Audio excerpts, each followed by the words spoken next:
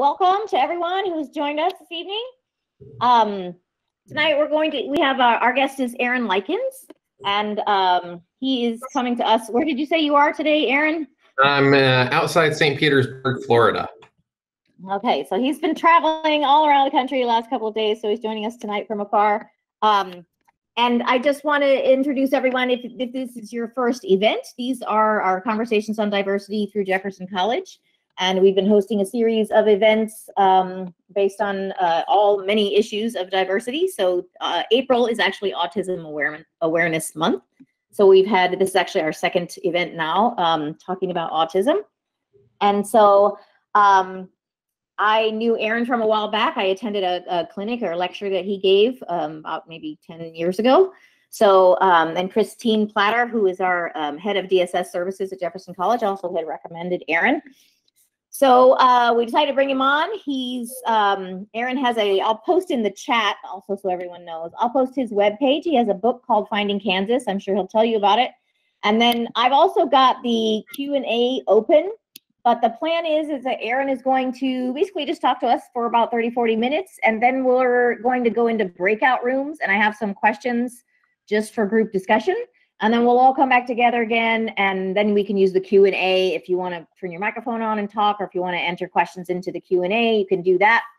So if you don't um, know where that is if you've never used google meet off to the right side if you have the white box the white box over on the right side has a triangle square circle. If you click on that it shows you the q&a so you can open that up to enter questions if you like. And if we don't answer the questions right right off the bat, we probably won't. We're going to let Aaron talk for a while. We'll, we'll get to those questions later on. So, but you're welcome to uh, enter questions at any time.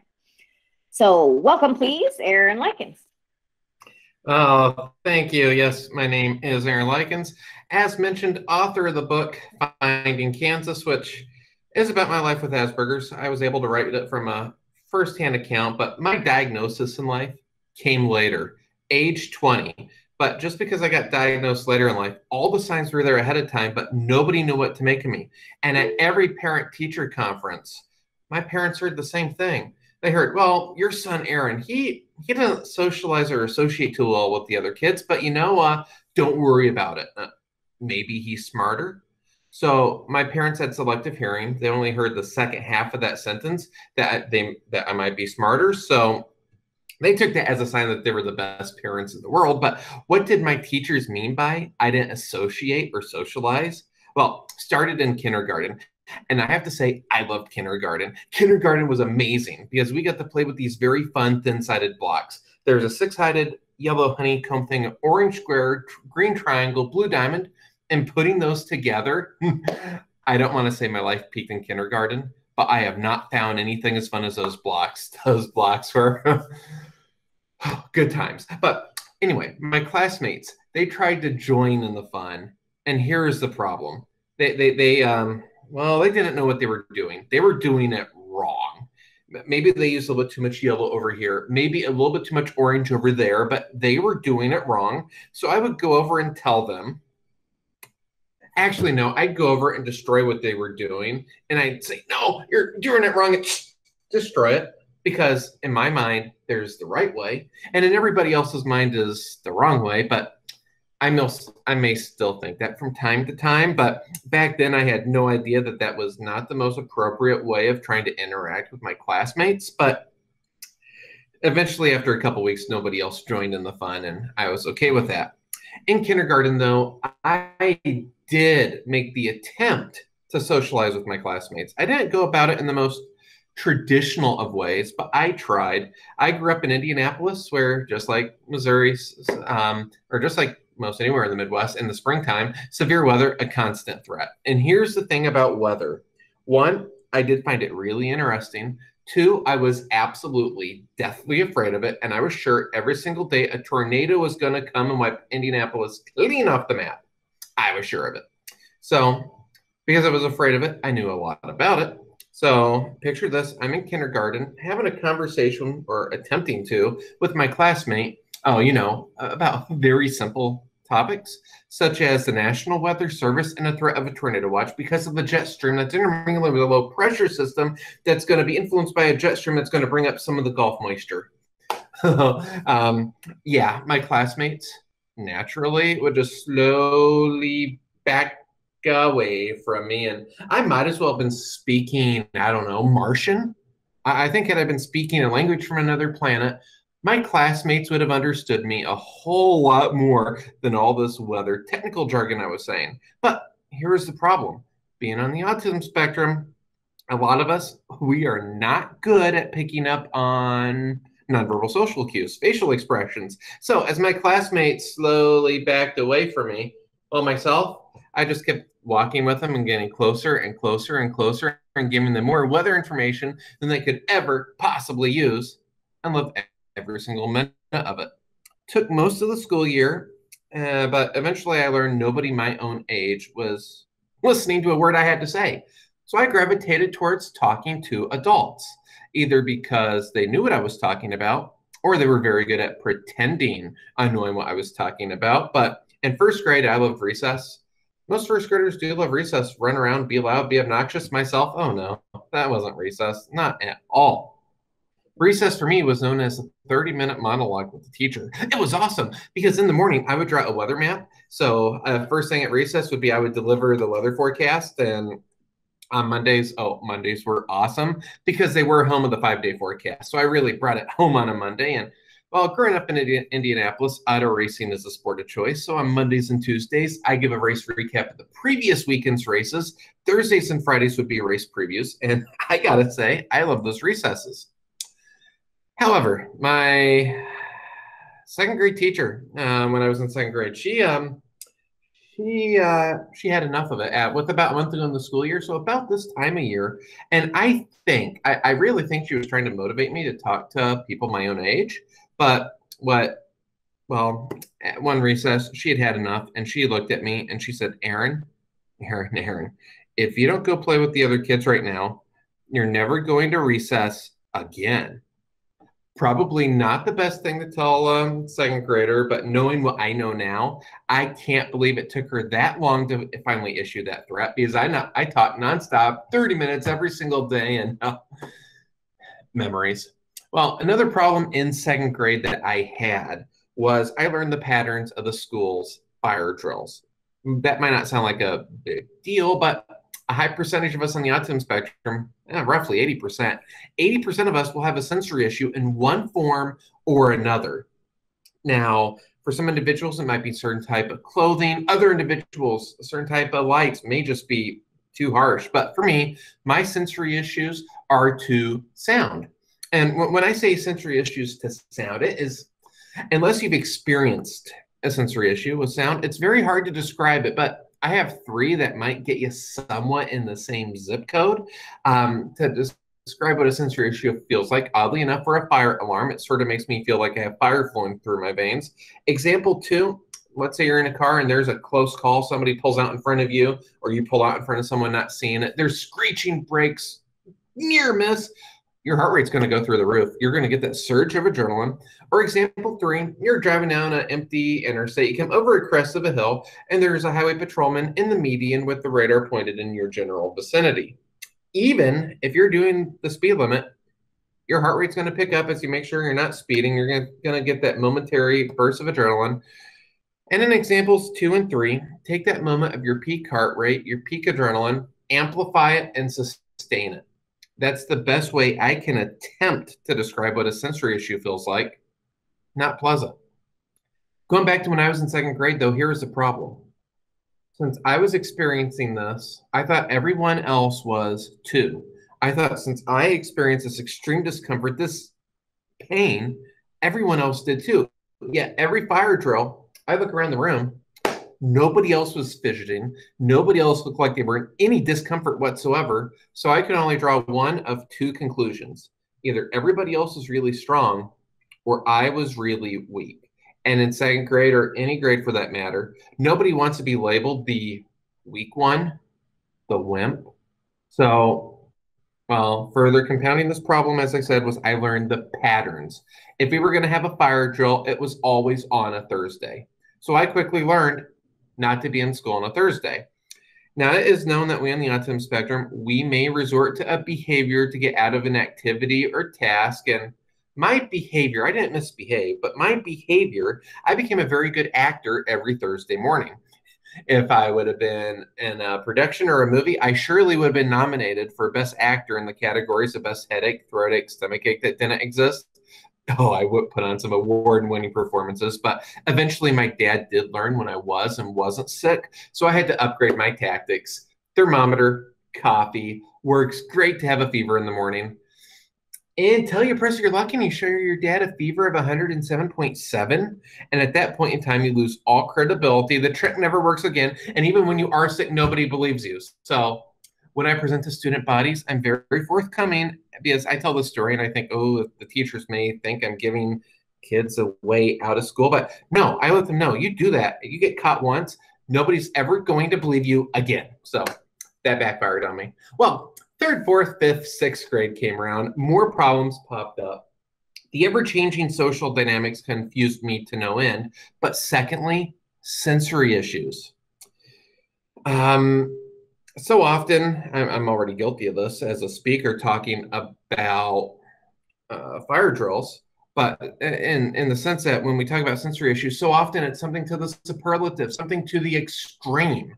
You don't need extreme to have sensory issues myself, I'm hypersensitive to my surroundings. So in the classroom setting, 20, 25, 30 students, I heard every noise. Um, right now, if you were in here about two minutes before I started, you might have seen me get up. I'm at a hotel right now in St. Petersburg, and there was air conditioning right beside me that if I would have been trying to present with that going on, I'd still be trying to introduce myself and say my name, and it just it might by this point in time it would just be awkward for everyone so be thankful i went over and turned the air conditioner off so it wouldn't distract me i'm sure it's going to come on at some point in time and then you'll get to see it but think of that in a classroom setting i just said you know i'm a public speaker i should be able to play through things i said if that air conditioner two feet away from me was going i'd be unable to give this presentation so too in a classroom if there were kids you know just tap tap tapping I might not be able to concentrate on what the teacher was saying.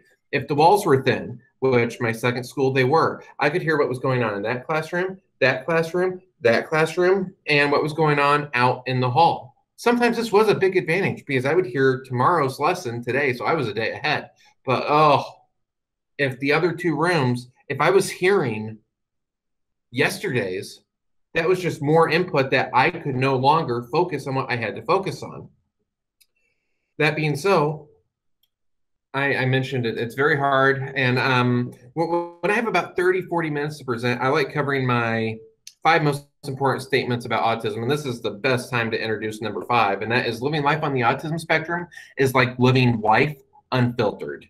I think if you want two words to describe autism, if somebody just gave you two, which it's going to take a lot more than two words to describe it, but if you just want two words to describe it, I think life unfiltered you might be able to come up with something better, but right now, in my opinion, life unfiltered is the best two words to describe it. So since this life unfiltered thing is playing out, I'm attempting, I have to try to filter out all that background noise.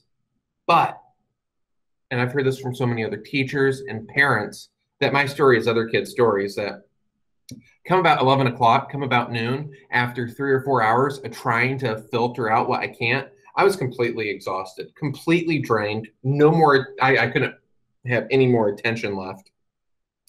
Uh, homework at night wouldn't get done. I was so exhausted. I was in bed by six a lot of times just because I was just so drained from trying to filter out what I couldn't. With that being said, I I mentioned on fire drill days I had real or I faked my headaches, but it was to the point I was having horrible stomach issues, horrible neck issues, constant headaches. So we had to go to homeschooling halfway through sixth grade. And halfway through seventh grade, I decided I wanted to go back because, well, school couldn't be as hard as I remembered. So I went back and, well, same behaviors popped up after three days. So that didn't work out. And I finished up my schooling career. Flash forward five years after that, it was, uh, it was 2003, November, December, and I got my Asperger diagnosis. So, age 20, got my diagnosis. I didn't know what it meant. Um, the first time somebody mentioned I might be on the auti- on um, I might be autistic, I said, "Wait, I don't have an artistic bone in my body. I actually got an F in first grade art. So, and I've been, uh, uh I told that to an elementary school teacher once, and she cried that no first grader would ever deserve an F in art. Oh, though, she did not see my art. Oh, I deserve that. So I didn't know what it was whatsoever. And neither did my doctor. My doctor sent me to go get an assessment because my dad, um, read a thing in Parade magazine that was my life story word for word, and finally there was an answer for all the behaviors. Doctor complied and sent me to, to, go get an assessment, but he didn't know what that meant. So he was reading the assessment in front of me on my diagnosis day, going, "Uh huh, uh huh," reading this here. Yep. Oh, mm-hmm. Well, there's no doubt about it. You have Asperger's. Uh, I don't know what that uh, means. Uh, good luck. Hmm good luck. Okay, if you're like me and you're given a medical term that you don't know, there's only one place to turn to, and that's the internet because everything on the internet's true. right. Uh, very first website I came across in December 2003 made a bold proclamation, and my life mission ever since I, after I finished my book, so maybe about 09, uh, this story happened in 03, but I now know this website was completely false, but what it said was that people with Asperger's will never have a job, will never have friends, will never be happy. Horrible introduction, the worst introduction possible. And unfortunately for me, I believe those words. And in life, autism spectrum or not, in life, if you believe the no's, the don'ts, the can'ts, that's exactly what's going to happen to you. That's what happened to me. I pushed everybody in my life away. I didn't care about any person, any place, anything. And if I could have disappeared, if I could have vanished, I probably would have been okay with it. Then 15 months later, at the brink of inner self destruction, I sat down on my computer and I started to write. And that's bizarre because I hated writing in school, hated it. But I started writing, and for the first time in my life, I was expressing myself on the emotional level. I was the least emotional person in the world. If you ask me anything subjective, anything remotely close to the realm of emotions, I said three and only three words. I don't know. But I started writing and eventually got the book of Finding Kansas. And I never intended on being an author. And I most certainly never intended on being a public speaker. This is my 1000, uh, near my 1040th presentation now. I, I can't believe this because I'm one of the shyest people you will meet. I know you're not believing me right now. Trust me, if you see me outside, no, this is new for me. This is only my fifth or sixth presentation like this, which if you've just seen the first four or five, I've, I've made big strides because I, it's really hard talking to a little white dot on the computer, but we all, it's a different world now. And this is, I'm actually, I could actually find this easy actually. But uh, tangents aside, I never intended on being a public speaker, being shy. If you would have told me 11 years ago this is what I would be doing, I would have laughed at you. And I would have said that. Why would you say that? That is downright cruel because I'm never going to be able to do that. Yet here I am. I never intended on any of this when I wrote my book. I was just maybe crying out. I, I just wanted my family to know who I was and why I was. And since then, this is what I've been doing. I've wanted to disprove that website. And as I mentioned, I do have the five most important statements about autism that I sort of came up with. I coined all the terms except number one, but going back to life unfiltered. That can definitely go with sensory issues. But secondly, it can also go to emotions. It I heard just I heard on a news story just couple months ago the the misnomer that every time I hear it, I just want to throw something at the television, but televisions are expensive, so don't throw things at televisions. But it was well, you know, people on the autism spectrum, they just don't have emotions.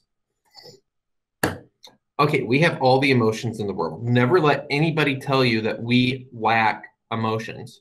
For myself, I try to just not I try not to acknowledge them. They're there, but it's life's a lot easier if you don't experience emotions, which means when you bottle emotions up, eventually they're going to get to a level 11 out of 10. And at that point in time, the emotion is going to be felt at an unfiltered level. Going back to when I was in school, when I would talk about auto racing or weather, I was experiencing that. I was talking at that at an unfiltered level. I was so joyous, so just over the moon of excitement, and that no one else shared. But that was my favorite thing in the world. So I, I understand why they didn't share it. And one of the reasons why they couldn't understand or, and why I didn't understand they didn't understand was I was talking about things that were in my Kansas. Kansas is the title chapter of my book, and uh, I've heard a lot of doctors, um, clinicians, as I was writing my book, I heard them say, well, people in the autism spectrum may have an area of defined interest or knowledge that they're going to want to talk about to the exclusion of everything else. Okay, that works. That's really long, and I barely understood it back when the first time I heard it. Well, as I was writing my book, I wanted to describe to my dad why certain subjects I fly in. So when um, I, I wrote a chapter, and well, the concept is this imagine that the only time, well, in every state except Kansas, in every state except Kansas, you, you just are socially paralyzed. You can't talk. Processing takes 25,000 times longer. You're always, you just don't feel comfortable in your own skin. Just nothing is working properly. Yet, when you go into the borders of Kansas, like magic, you feel normal. Uh, I, I'm uncomfortable with normal because I don't think normal exists. I do think there's one normal person out there. And if we do find that person, well, find them because congratulations, you have found the most boring individual in the galaxy.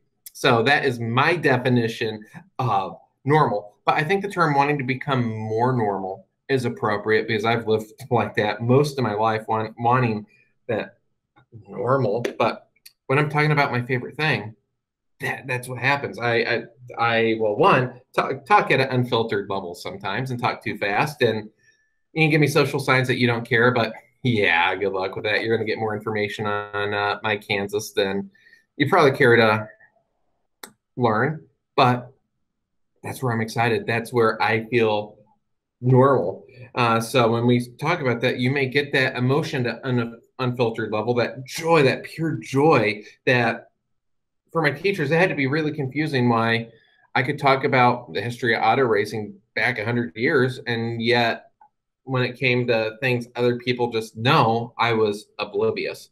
Well, going to the number four, uh, the fourth most important statement is whatever happens first always has to happen. Routine, routine, routine. We on the autism spectrum typically do like routine and whatever happens first always has to happen as a way to sort of describe that. So in my book, I describe it like this Imagine the mind on the autism spectrum having a camera that uses film. And anytime there is a new event, a new situation, a new person, a new anything, imagine the mind taking a snapshot, printing the film, and putting it in a portfolio. Now, anytime that situation or what have you is duplicated, we on the autism spectrum, we already know what's going to happen because, well, whatever happens first always has to happen. This was tricky in school, especially when there were, was a substitute. I was a terror when we had substitutes, and I think they all eventually knew who I was. Um, but in, in second grade, we had a sub, and every other kid in the class loved this concept. She came in and she put a wheel on the board. It was a nice big sized wheel, and it was segmented into different subjects and she would spin the wheel and whatever subject came up next would be the next subject we would do. So if social studies was typically first it may end up last because it was all by the luck of the wheel. No no no. We had a schedule we had a routine and the first time that wheel came out oh my hand came up and i said um that's not the way mrs ginger does it. And this sub she was very polite about it. She said oh yes aaron i know. Spun the wheel second hour carbon copy, third hour carbon copy. Well, even lunch and recess were in jeopardy of being at different times. And the fourth hour, oh, I finally had a logical debate. Yeah, all I was saying was that, that that's not the way Mrs. Ginger does it. But I finally had a logical debate. The wheel was right here. Our daily printed visual schedule was right beside it. So I, I said, no, no, no, we, we have a schedule.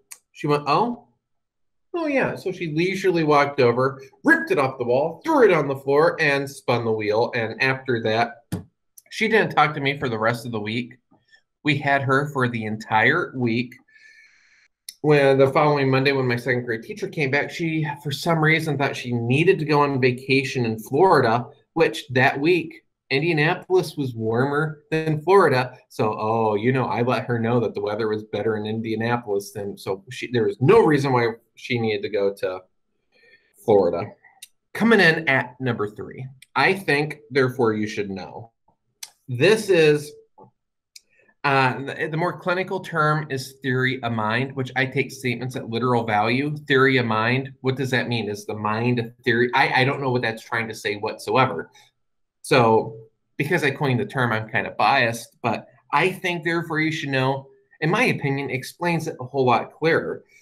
What, what this, um, the way this can play out, though, is that our intentions sometimes aren't going to be understood. So I had a girlfriend for many years in the early 2000s. We bowled on the same bowling team. And one Monday evening, she came in with an outfit that was different. I can describe it one of two different ways. She was either trying to look like a tent contraption structure thingy, or she just got done with the Star Wars edition as some weird alien from, from some weird planet nobody's ever heard of. It was that obscure. I have been all around the world. I have not seen anything remotely close to it since. Thank goodness. Anyway, though, that evening, other people looked at her, but when I saw her, I asked the first thing that came to my mind. Um, what is that? Now, there was no anger in my words. There was no malice. It was a really simple question. I just wanted to know what planet her clothes came from. That's all. Well, she didn't take too kindly to that, and I had no idea. I had no idea she was upset. I had no idea she was angry, and I had no idea she was giving me the look.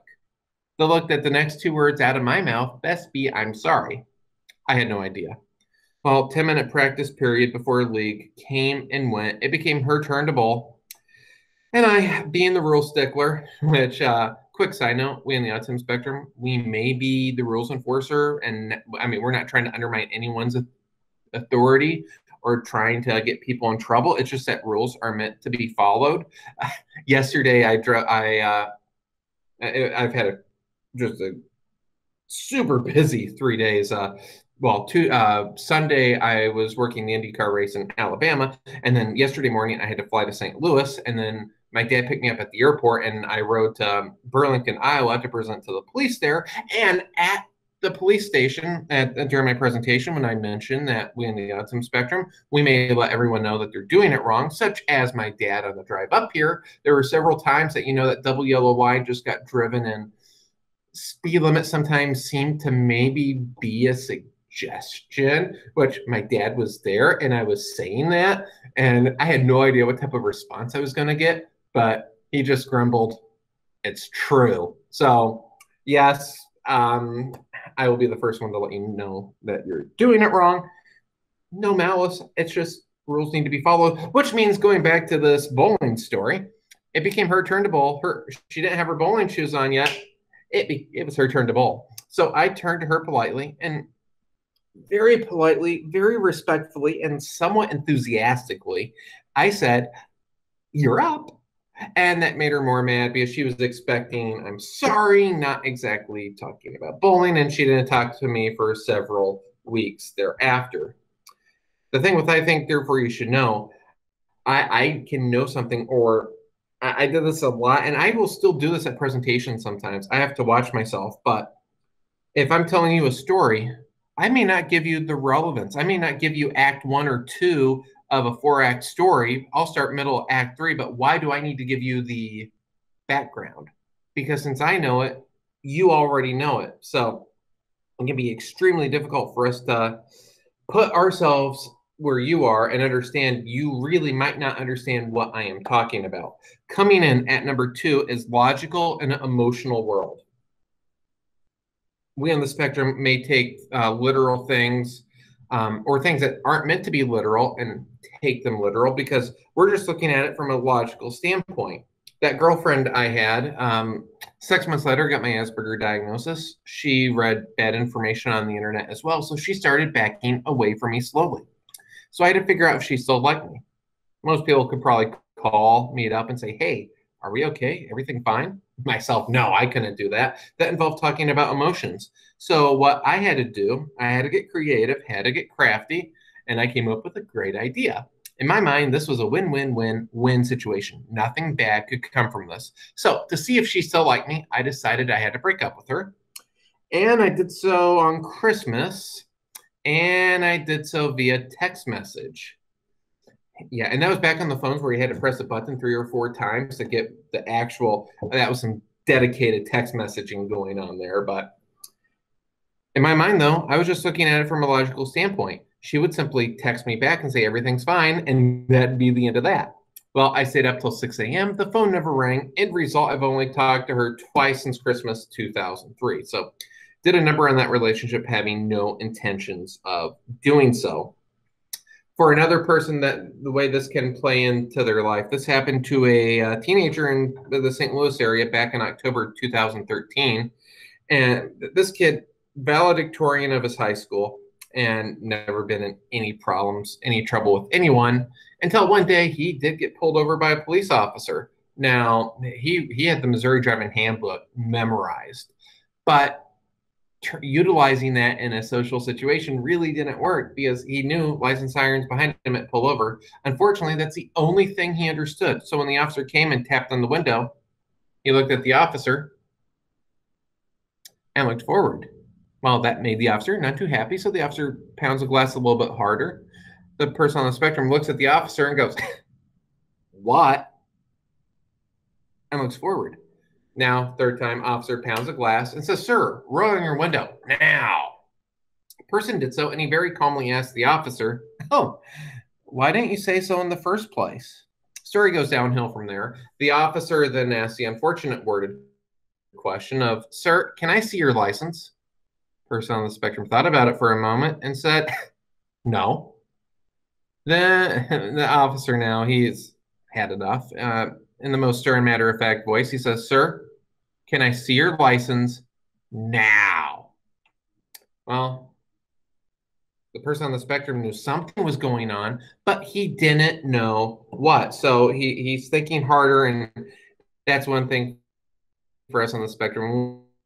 We start things slow down, we may come up with the right So he's thinking harder, trying to figure out what type of riddle, what type of trick question this is, and the only answer he can come up with to tell the officer is, no, you still can't see my license. Well, he was immediately arrested for disobeying the orders of an officer and obstruction of a peace officer's duty, taken to the station. Thank goodness the officers there had been given autism training. They were able to read between the lines. They realized he wasn't trying to intentionally be obstinate, defiant, non-compliant, or any of those other really long words. So, so no charges were filed, but per protocol, his mom had to come to pick him up at the station. She's in tears. Again, he's never been in any one bit of trouble, much less needed to be picked up at the police station. So she's in tears. She gets her son and she said, Son, why didn't you help the officer? Well, the 18 year old was just as confused then as he was at the beginning of this whole ordeal. And he said, But mom, I was trying to help the officer. He kept asking if he could see my license. How could he? It was in my wallet. For those on the autism spectrum, when you are logical in an emotional world, it can be very confusing. Where we may see things at absolute literal value, absolute logical value, and that means the emotional ramifications of what we say may not be understood. The 18 year old had no idea that the officer would take that as a complete sign of disrespect. For the person on the spectrum, he didn't see that. We can be so logical, we are blind to the emotional ramifications of if life were a chess match, we're blind to the emotional ramifications of our proverbial chess moves. Coming in at number one, though, um, this is the most important statement. I did not coin this term. I did the other four, but if you've met one person with autism, you've only met one person with autism. Kansas, the concept of Kansas is such a great example of that. My Kansas is auto racing, and through 26 years of working in the sport as a flagman, uh, last season, I got to experience what it was like uh, being a flagman for the NTT IndyCar Series. Never would imagine I would make it to my dream job, and yet I did. But other people on the spectrum, a racetrack might not be their uh, desirable place. It's loud, it's noisy. There's a lot of sensory elements in play. For me, that's where I feel great. But the the very tricky thing to describe the autism spectrum, to those that don't know it, is that myself, well, I, I have sensory issues to fire alarms, but also to drums. Drums just drums and me, we don't get along. So here I am working at a racetrack with sensory issues, Yeah, I can handle that environment, but drums will be very bad. That that's so difficult to explain to you know teachers that may have never had a student on the spectrum or have ever had any uh, training or heard any speakers because so often society wants everything to fit into a nice tidy box. The autism spectrum isn't that. Because i know uh, south of st louis you can go to perryville. Uh, there's a mother there. She has three daughters and each daughter has asperger's and they're all semi-professional drummers. So how do you explain to someone that here I am, drums, bad, bad news, yet same diagnosis for them, it's their Kansas. So one person's Kansas could be the next person's complete opposite of Kansas. So in terms of autism awareness, which I think we do have autism awareness, people know that autism exists. We're now to that understanding phase that it is a full spectrum that you can have two people same diagnosis and you know we're not all going to be a sheldon cooper we're not all going to be a rain man the spectrum is vast it's broad there's people that can make eye contact people that will prefer not to people that are going to be great at socializing and understand sarcasm and others that well sarcasm or non-literal statements may end up with a police story like the wallet story so those are my uh, five uh, most important statements i will turn it back over for the uh, remaining format. Thanks, Aaron. So um, we're gonna jump into little breakout rooms, and I have some questions. I don't know. I think everybody's probably coming from different places with their maybe their knowledge of autism, their experience of autism, experience with autism, experience with people with autism. Um, so you may or may not know sort of many of those things Aaron was talking about with the criteria of uh, or typical personality traits or some some things some people have in common. So I'm going to post some questions. I'm going to put everybody in breakout rooms and um, uh, I, I'm going to split us into three rooms. So uh, I'm going to put um, well, maybe I'll just do two rooms. I'll put everybody into two rooms and then um, post the questions into the chat of each of those rooms. And so we'll do about 10, 15 minutes, uh, and then we'll come back to the main room, and then everybody will have a chance to ask Aaron some questions or post stuff into the Q&A. Uh, I think everybody's coming back to the main room here. Get Aaron back in the game. there he is. Um, so I thought maybe um, some of our, our breakout room leaders could share some of the ideas that were shared from one of the room. I was in room two the whole time, so I didn't hear anything that was said in room one. But if uh, Christine or Richard or one of you wants to share some things that happened in your room, and Joel, you can talk about some of the things we talked about. And then um, uh, if you all have questions for Aaron, you can submit those into the Q&A. Maybe we'll just start that way. Everybody have access to the Q&A over on the right side. And then, um, Aaron, I did mention to Jamie from Easter Seals, I asked her if she could maybe go over the criteria for autism diagnoses, kind of what you were talking about in your list, but more specifically what those criteria are. So I think I'm going to have her discuss that. So can we just get some feedback from the breakout rooms right now? Richard or Christine, you want to start? I'll defer to Christine. Go ahead, Christine. Sure. So um, in our breakout room, you know, we kind of addressed the questions, but, you know, the topics brought us back um, essentially to, you know, talking about, you know, looking back, did we come across somebody that we thought may fit in that autism spectrum? Um, diagnoses, you know, somebody we came across in the past, and us as educators could, you know, really think of a few things um, where that could be the case. Um, we also talked a little bit about what we wanted to, what, what we wanted our takeaways to be, and I thought that was really interesting. Um, and one of the points was, you know, we wanted neurotypical individuals um, to really be open to other individuals with disabilities, such as autism, not to point fingers or point them as, you know, odd or different. Um, you know, we also discussed wanting to learn learn more about how to be more supportive as well as how to um, be better teachers and educators. And so we thought that that was, you know, really neat. Um, and then, you know, we also just kind of talked about um, what some of those um, behaviors or things that we assumed, you know, went with autism, but how, you know, Aaron had said that if you met one person with autism, you've met one person with autism. And so we really took that to heart.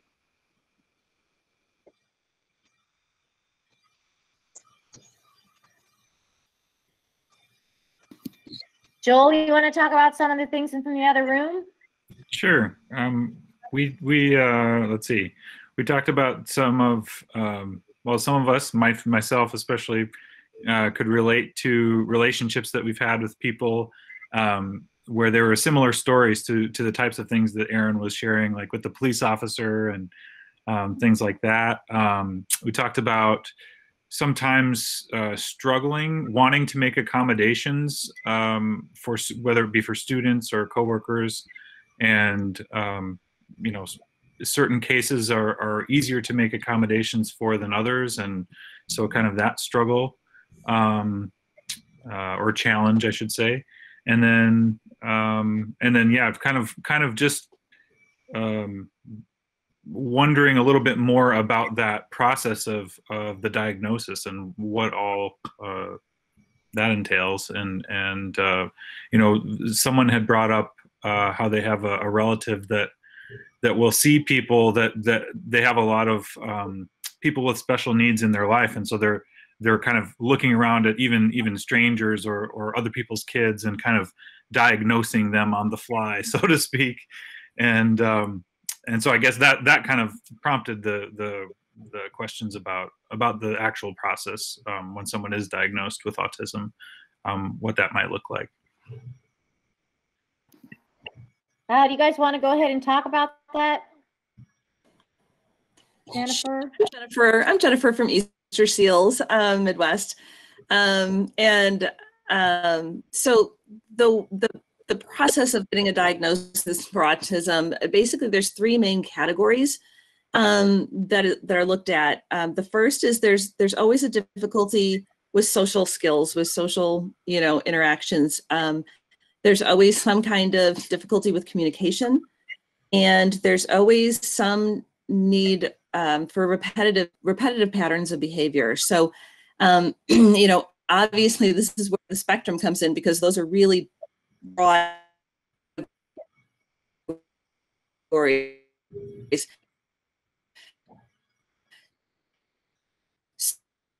So,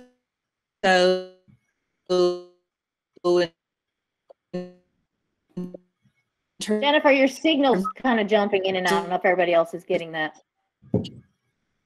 Yeah. We're kind of, you're- you're we're jumbled. um,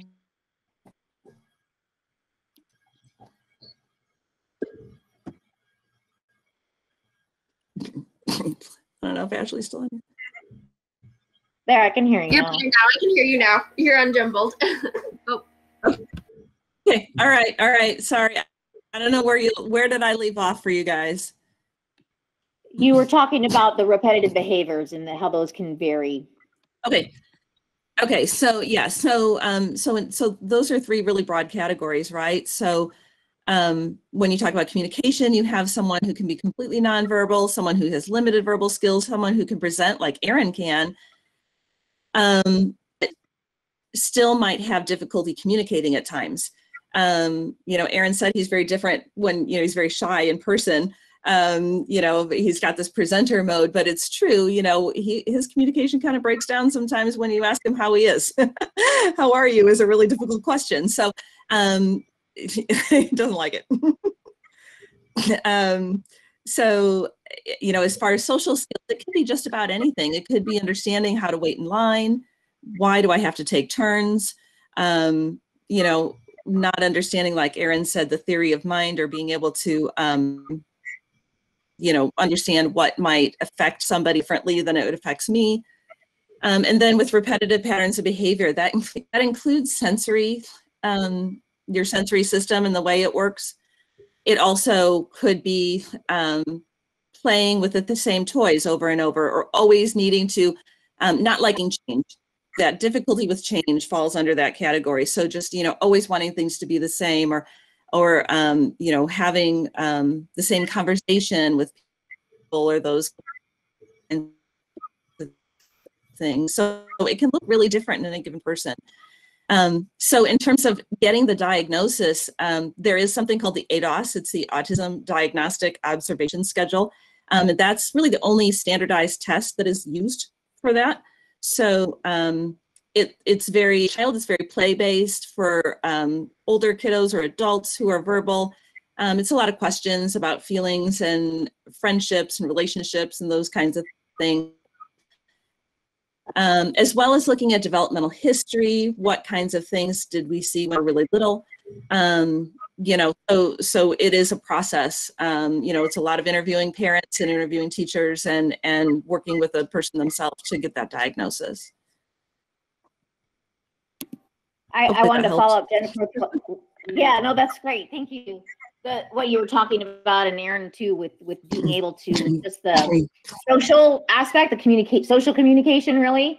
I remember my daughter, when she was, we, they went to a small charter school and the principal would stand outside the front door as all the kids came into the building every morning. Good morning, good morning, good morning. And, you know, she would try to get the kids to respond. And every single time, Lisetta, she was so annoyed by this principal saying good morning to everybody because she's like, it's not a good morning. Like whatever her opinion was, she just didn't care. Like, why do you why are you trying to tell me that it's a good morning? I don't think it's a good morning, so don't tell me that it is.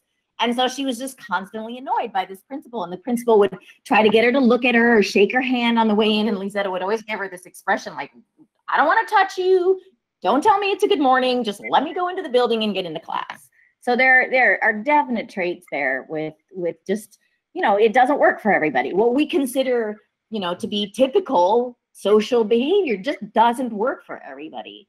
And I, I remember hearing once Temple Grandin was speaking about when she was young and her mother had to teach her how to say hello and shake people's hands. And those were just like, maybe we all, you know, everybody else may pick up on that, but like the, it's not always comfortable for everyone either. Like you can learn what the social norms are, but it doesn't mean that you're comfortable with it.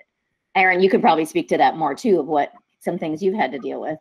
Uh, Well, the, the whole don't tell me what to think. Oh, this this story. So it was 2010, and my dad told me to go to the store and get some golden delicious apples. Oh, I was angry. How dare he tell me that they are delicious apples? I, I I didn't know that was the name of the type of apple, but oh, I drove to the store. I think I'm I, I might have gone a little fast, heavy on the accelerator, because how how dare he tell me apples are delicious with that adjective? I was, and then when I went to Schnucks and saw the apple name, I uh, yeah. But th- th- those type of oh, don't tell me what to think. Did your did your parents did, did your dad go through a whole like social lessons with you? Did he have to say, you know, No, or did he uh, force you to shake people's hands and force you to look people in the eye and say hello and like I don't know. No, I I was I, I hate to say this manipulative enough to just get by without having to do that stuff. I was I was a good chameleon in a way that I was able to just do just barely enough to where there was no conversations because conversations can be worse than the thing I'm trying to avoid. So I, I had to really weigh a balance on avoid what I don't like, but also avoid conversations because conversations are difficult as well. Did you have issues with like we were talking about sensory issues? Like what were, you said drums, right? There were certain sounds that bothered you. I know my daughter's like in the city here, we get a lot of people who play their stereos super loud, especially the bass of their stereos. She's in severe pain just sitting even even like five cars away hearing these stereos. It's severely painful for her. But I know that she, she has other light issues like and that's something teachers have to be aware of like in the classroom when you think about where the desks are, where the tables are, where the child is sitting. She hates the fluorescent lights, of course. She was always desperate to sit by the window. I need to sit by the window. I need that natural light. And in her one classroom, the teacher just kept insisting that the curtains were always closed because the sun was shining and it was too bright. And she's like, "What's wrong with you? Like that's that's what we need. I need you to open these curtains. I need that light coming in." And so it just understanding that that different children need different things, you know. Someone asked a question. Eric, oh, go ahead, Aaron. Oh, um, it's just uh, yesterday in Iowa to those about 35 police officers. I cover sensory issues a lot, and I cover fluorescent lights. And when I say some people can hear the gases flowing through the tubes or see the gases flowing through the tubes, as if every single fluorescent light is always out of balance and flickering. And wh- when I say that they can see it in unison, every person. I don't even know if they know it or not, but everybody just goes and looks up it's something they've never thought of they never conceived they didn't even know that was a thing so um it, it's really neat to see that wow this would be a horrible uh pun ish pun uh anyway uh everybody uh the light bulb uh proverbially gets switched on when they look up uh, I, that was unavoidable unavoidable Did you do you have any any other sensory like smells or anything? Did you ever have issues with smells? Uh, I'm hypersensitive with my sense of smell, so that gets annoying at times. It's a big benefit at a racetrack when I can say, "Hey, somebody's burning brakes," or check the telemetry, somebody's burning oil. Uh, so in that environment, it's an advantage, but everywhere else, it's annoying. Aaron, talk My- about um, being touched. Uh, yeah, so um, I'm I'm not a fan of any contact that I'm not prepared up for. Any type of well, there was uh, let's see, ooh, a long time ago, 2010 at the St. Louis Blues game uh, I went to.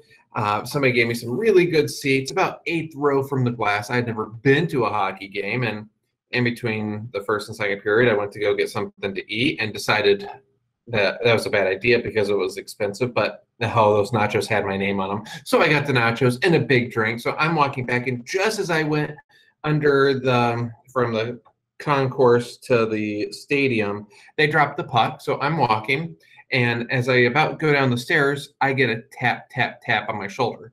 Okay, random taps like that. N- nothing ever good comes from a random tap. Nobody goes, "Hey, you've won." No, it's always something really, really bad, or at least that's how I perceive it. So I get tapped, and instantly I I do my two by four impersonation, and I turn, and the they go, um, "Sir, you, you see this yellow line right here? You can't be past this yellow line right here while the puck's in play." I'm like, but I'm seated right, sir. You can't be past this line right here. But my seat, uh, sir. Yeah. So I wander back, and then, um, well, a stoppage happens, and it was a long time. Like there was no icing offsides for a good five minutes. So I'm trying to walk back, and the same person goes, "Sir, I need to see your ticket." Now remember, I actually no, they tapped me on the shoulder. That's what happened. They tapped me on the shoulder before I got down the stairs. So now I'm like a four by eight. I don't know. I, I can barely move. I can't flex at all. So I turn and she goes, Sir, I need to see your ticket. Well, remember, I'm holding a big drink and nachos, which I think was at least $25. So I am holding not only liquid cheese, but liquid gold. I I, I can't let go of this, but I can't show them my ticket because it's in my pocket. So I'm stuck there uh, going, uh, uh, and for a good, I don't know, 45 seconds, I have no idea how I'm going to get this ticket out. Well, eventually somebody else that needed their ticket uh, checked just grabbed the drink from me. Now I had a hand, so I showed her the ticket. Okay, so I start progressing again. Tap, tap, tap. And all that time, they resumed play. Sir, you can't be past this. It took me till the I, I was unable to eat till the start of the third period because that was three taps. So I guess a person scored a hat trick if we're talking hockey.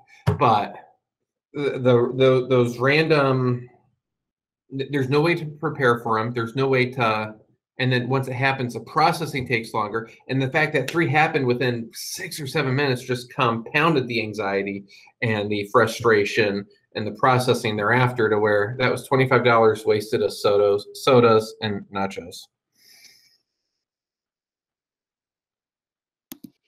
I was going to share a story. I want to get to Susan had a question. I want to make sure we get to that, but I want quick story about sensory issues. Um, my daughter has super sensitive smell issues as well. But some of the things that you know, we we bathe, we wash our hair, we use perfume, we use whatever cologne, we use deodorant. All those smells that they sell in the stores that we think, you know, most people think smell great, and we all want to smell like that. She hates all of them. And and so for her it, it's a, it's a level of functionality. She goes into the classroom and she sits in there with all these kids with all these different smells and it drives her insane. And certain smells really trigger her like cause her to salivate. So smells of like fruity flavored uh, candy or mint minty gum any kind of mint she will just start salivating. And especially when she was younger we didn't really understand why or what was causing it. It took a, long time for us to realize what it was. But she would just just it would just cause her to salivate and she would spit into her shirt and we would have a handkerchief around her neck and like we were just trying to deal with the situation without realizing what the cause was. And then you know it's gotten to the point it can affect affect her test taking it can affect her concentration in class. Like these are huge huge triggers for some kids and understanding what those triggers are and understanding that you know, maybe you think it's fun to have gum day for everybody. Well, that's might be torture for that one or two kids in the class. And maybe they should be allowed to leave the room when everybody else has gum day or something like just simply being aware of those issues to adapt to um, the kids who are really greatly affected by that. But Susan asked a question, Aaron. She said, Aaron, what would you like teachers to know about kids on the spectrum, or how can teachers best help a student in our classroom?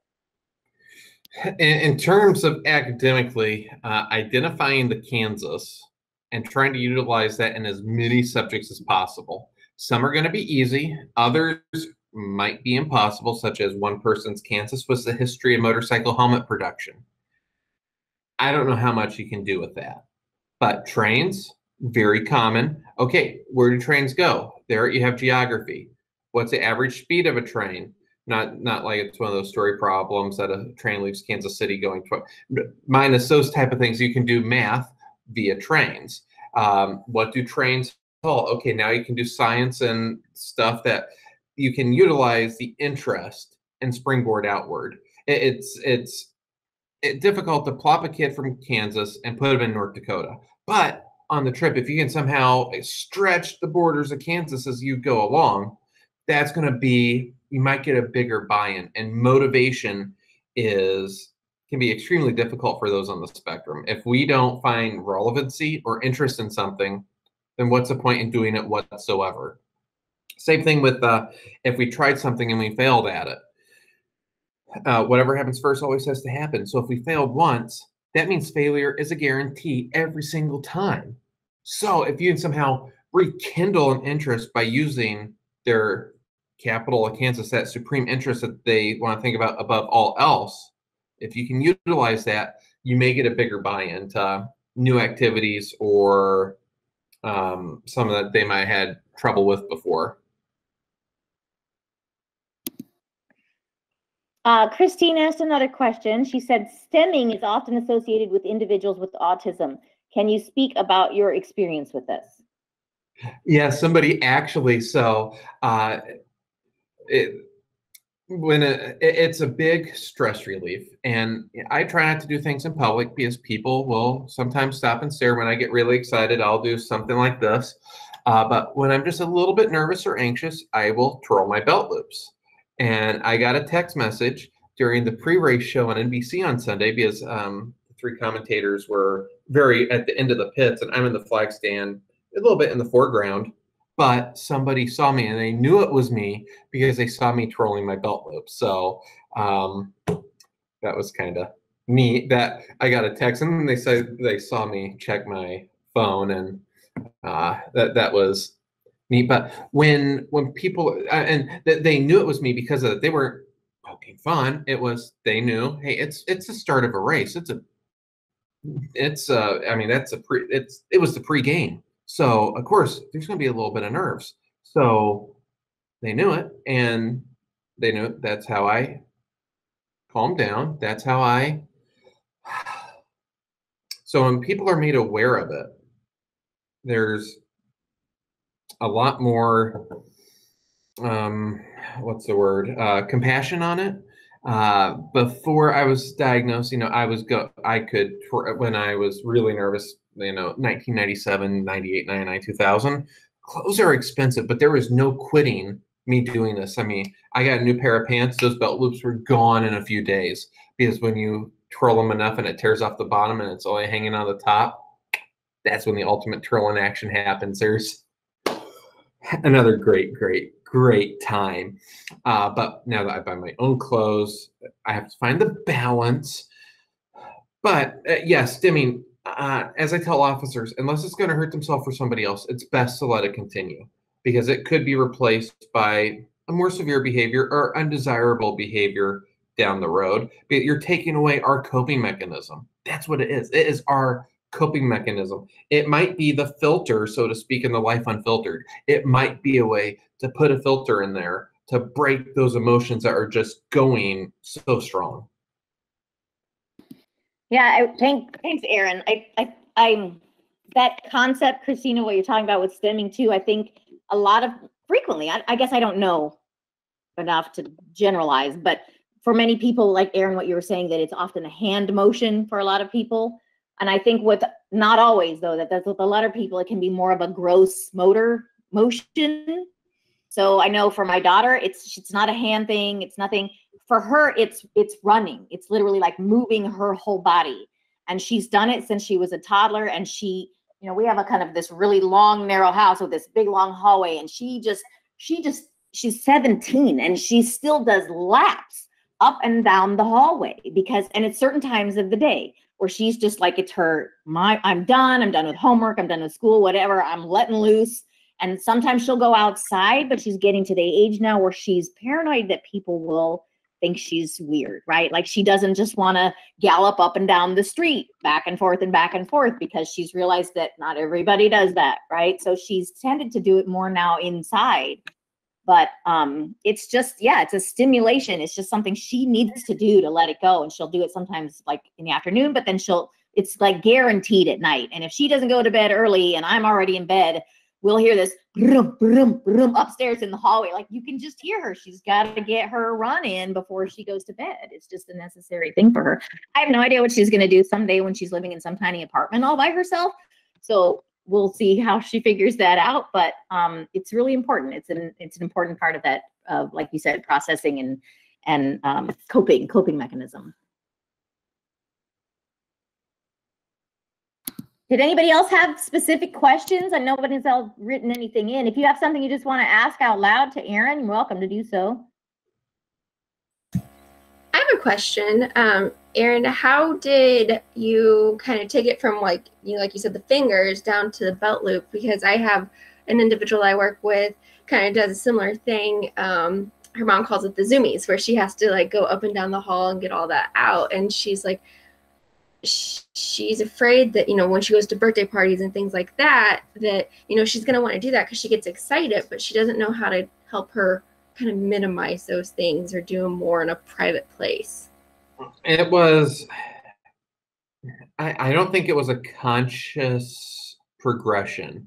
It just sort of, and I, I still do the finger things. If, if I if I get so belt loops are anxious nerves.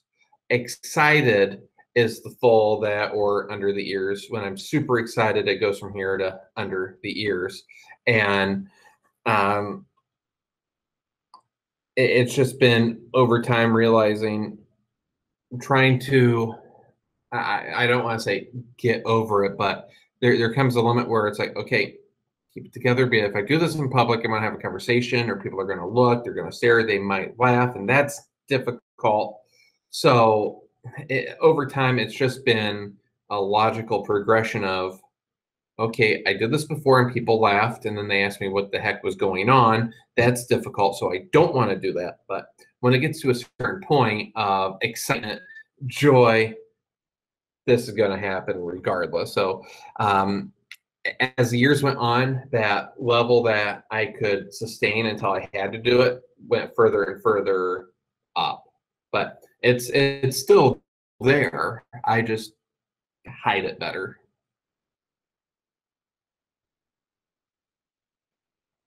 Thank you. Anybody else have any questions they want to ask Aaron? Aaron, actually, I'd like for you to talk more about how you got into what you're doing with the racing. Because I know you mentioned Yeah, kind of what you're doing. Uh, Yeah, so I uh, grew up about a mile from the Indianapolis Motor Speedway, and uh, racing was one of the first things I was exposed to. So that became the capital of Kansas immediately. In 1995, I started racing go karts because I, in my mind, was going to be the next, the greatest eight-time champion of any racing series in the world. That was just going to be a given. I had the skill, still have the skill, but it's an expensive sport. But also, I love the people that wave the flags. It just looked, it was probably a sensory thing, watching the flags, hearing the flags. And uh, I got my first set of flags when I was about six and practicing. I had, I have very poor uh, uh, coordination. I'm a walking disaster. Yet, give me a flag in my hand. If flag waving were an Olympic event, I could win the gold, silver, and bronze the same event the same year. Nobody else would be worthy of a medal. And that's me being humble. Uh, however, um, my my uh, the person I enjoyed watching the most was the flagman of the Indy 500, and my dad was a pastor in Indianapolis. There was a member there that worked at the sanctioning body as a secretary. He asked her, "Hey, could you get Duane Sweeney's autograph?" Well, she did, but Duane Sweeney did one better. It was his autograph on the flag, checkered flag he was going to use for the 1990 Indy 500. So I got Duane Sweeney's checkered, and in '95 when I started racing go karts, the club had uh, down our track was on Telegraph by the Meramec River, and our club flagman was about 80 years old and going colorblind. Now, when people could get really hurt if the wrong colors being displayed, that's bad. So I volunteered to hand him the right colored flags. Well, 96 was an exceptionally hot summer, and the club sort of pushed him out. So at age 13, I became the club flagman, which now um, a series I used to flag for, eight and nine year olds were like, Can I flag a heat race? I said, No, you're too young. Insurance won't allow it. What? I so I, I'm saying no to what I did because 13 years old in charge of a racetrack. Just think about the insurance liability now. Well, in 2000, I I, I quit racing in 03 and in 08 I picked up the world's largest go kart race, and then 2010 got a division of USAC as their flagman. So I was flagging about 16 to 18 events a year across the country, and looking back on that, and if you go to my blog, you can see the progression in 2010 of me starting out at these new events. And then every year things are just getting a little bit bigger, a little bit more professional, more professional. Um, every every progression or every series I got and every event I did happened at the perfect time. Yeah, as I said last year, I got picked up by IndyCar, which was my dream all along. Uh, so truly a dream come true. Um, last year's Indy 500 in August, being in the flag stand, I I think I was in tears the first 60 laps. That's how how much it meant to me. But I, I think eh, in 2010 I would have thought, hey, I'm ready for Indy. I can do this. No, the the uh, progression I needed. Uh, I remember a blog post in 2011, the first time I worked in Phoenix. I'd never had Mexican food in my life. I was a stingy eater, and Jennifer, Jennifer saw more than once how many times I was a picky eater. She wouldn't recognize me now on all the stuff I'm eating around the country, but uh, doing the job, it, there, there's more to a job than just doing the job. It's you know having not. If I would have got this gig 12 years ago, every meal it would have been like, well, this isn't going to work for me. Okay, that I- I've learned how to adjust and adapt and grow just a bit to, I don't want to say, but fit in the best I can. Uh, it- it's unfortunate that the unemployment rate is 80, 85% for those on the autism spectrum with Asperger's. I believe it's you know we, we I, I've had so many messages. Um, I remember my, my first year of blogging, somebody reached out from Northern Canada. She was from Iceland, had a dual doctorate in earth studies and petroleum uh, sciences. She was making near seven figures. Uh, she moved from Iceland to Canada, but the job lasted just a couple months because she could not handle the social interactions. So there was a person with unlimited potential. Uh, who knows what she could have created in any type of? Uh, she was moving towards a green initiative. Who knows what she could have discovered, but she wasn't ready for the job she got. So uh, maybe I should write a book on the need for progression and timing because that, that's a big frustrating thing for us on the spectrum is we, we want our dream right now, but we may have the talent to do just that, but I didn't realize there's so much more than just those single tasks that we have our mind on. So perhaps that's one of the problems of Kansas is that we're just looking at that one single capital, so to speak, when there is a wide state that we need to be able to navigate. So 26 years it took me to get to IndyCar and you know, working 16, 18 events uh, all over the country from 2010 to 2019 to get it. But uh, it, shows that one hard work and dedication pays off. Uh, but sometimes waiting to get that goal is actually really good.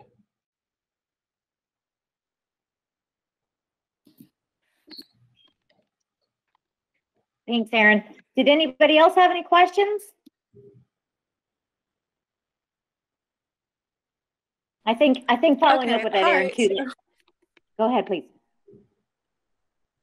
Oh, sorry. So I'm actually reading your book right now for a Ah. class. I have like two chapters left.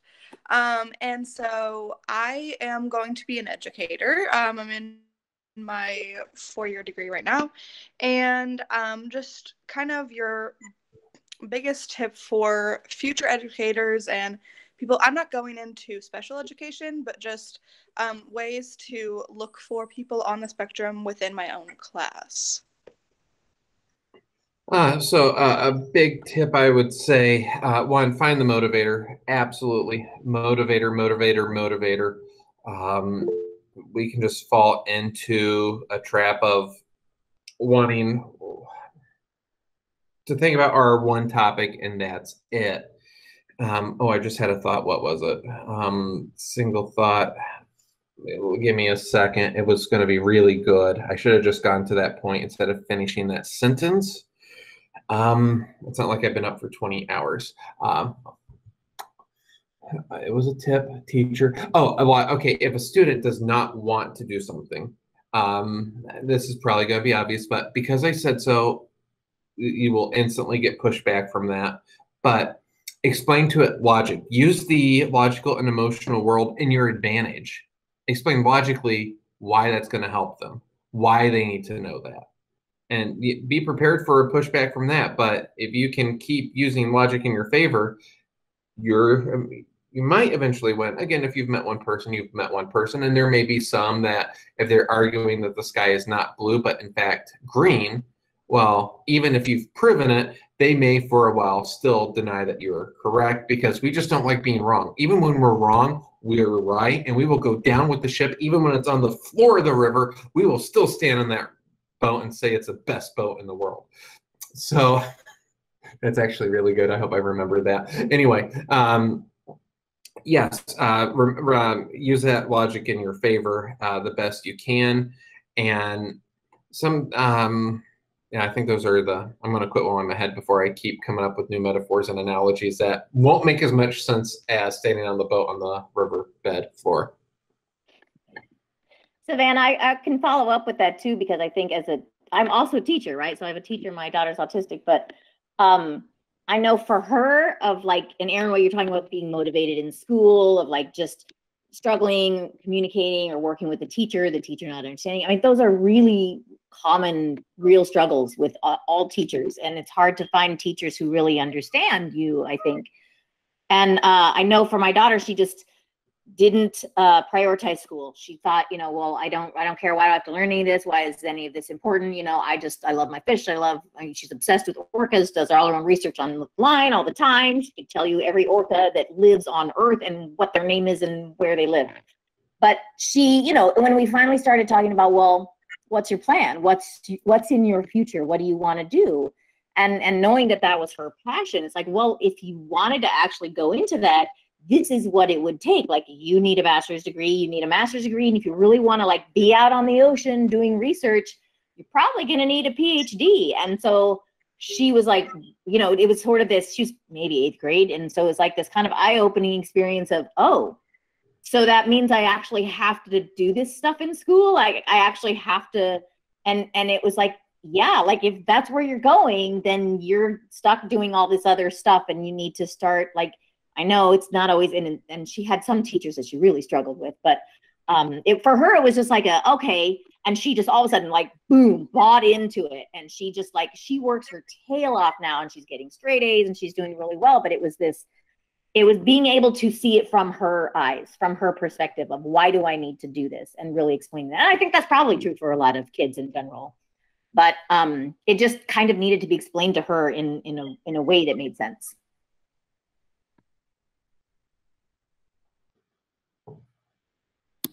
So we're kind of uh, about done with our time. Does anybody else have any last minute questions for Aaron? Nope. Okay. Well, I just want to thank everybody for coming. Aaron, I have loved this so much. I mean, being able to talk face to face with you and seeing you again. It's been over 10 years since I heard you speak live. So this has been wonderful. And um, I hope everybody else enjoyed it. I hope this helped everybody, answered a lot of questions, get new perspectives on, you know, what you see as a as a person, as a human on Earth, in the classroom, all those different places, and and um, and just helping understand all the people on the spectrum because, like Aaron said, everybody is different, and whether you're on the spectrum or off the spectrum, everybody's different.